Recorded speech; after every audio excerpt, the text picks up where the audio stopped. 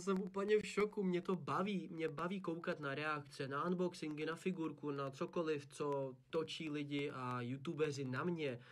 Prostě mě to fascinuje, jak dokáže malá figurka rozhýbat československý YouTube a potažmo internet, protože vznikají i články na internetu a je to wow, je, je hustý prostě, že se řeší moje jméno opět.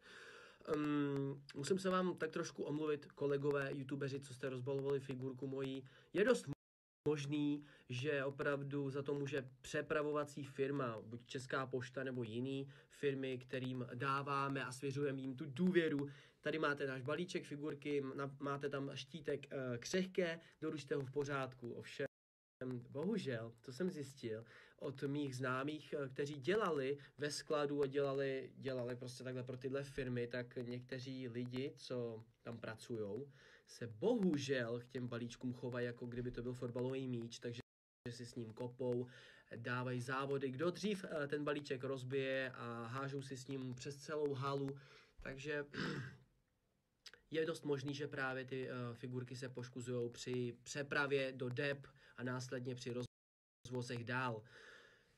Takže tímto bych se chtěl omluvit, uh, že jsem vás uh, takhle napadl, vy, co jste to rozbalovali a přišlo vám to um, rozbitý. Neříkám, že není možný, že, se, že jste si s tím pohráli. Nevylučuju žádnou možnost, jenom chci říct, že i tato varianta přichází v úvahu a je dost silná.